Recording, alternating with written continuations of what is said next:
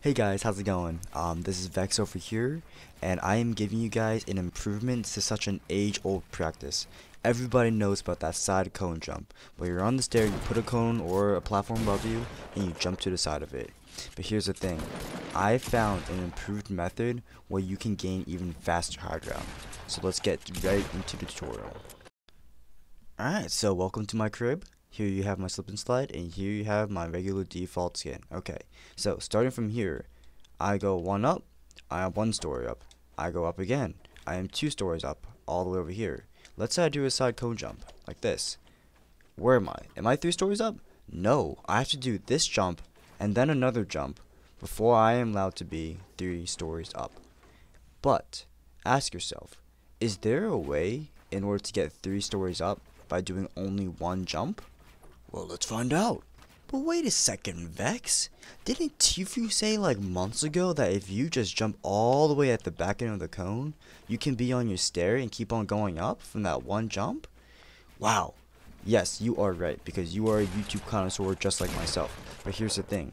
When you do this 180 jump all the way at the back of the cone, you lose all your momentum by doing this 180. I want to keep all your speed when you jump into a 90 as you gain high ground. So this is what it looks like.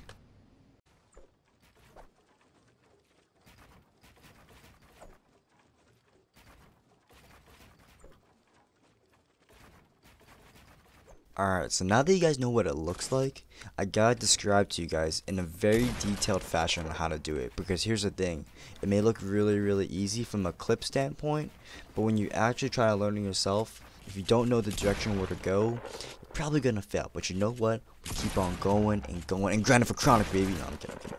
Alright, so here's the thing, alright?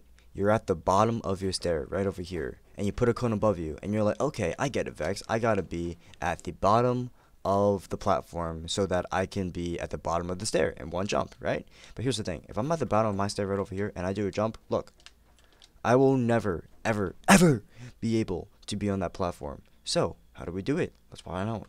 Very, very detailed explanation here. We do not want to be at the bottom of the stair, like we just said. Instead, we're going to be a little bit further up the bottom of your platform. And here's the thing. For a regular cone jump, we're so used to jumping diagonally in front of us, right? But here's the thing. This time, we're going to jump diagonally a little bit behind us. But please note that even though I'm jumping a little bit backwards, my camera still faces forward like this.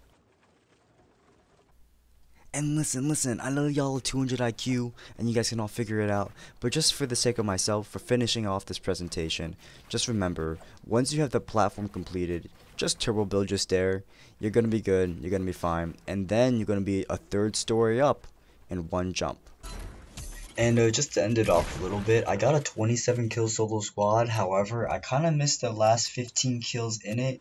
So I thought I'd just add the highlights in here if you guys want to stop by and enjoy it just enjoy how awesome I am. I'm just kidding, I'm not narcissistic like that.